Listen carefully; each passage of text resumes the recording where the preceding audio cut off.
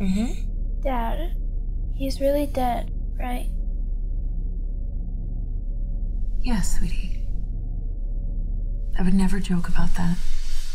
Okay.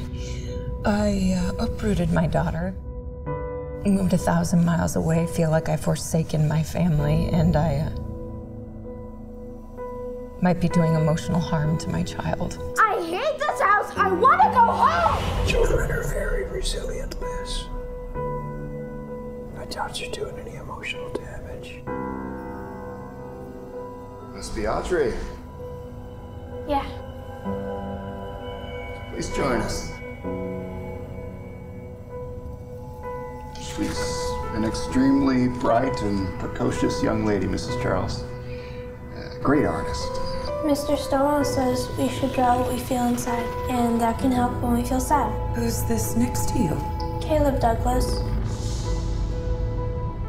Help me.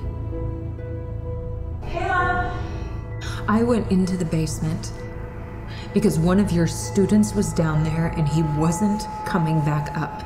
Did you even check on him? Was he ever even found? We don't have a Caleb enrolled here.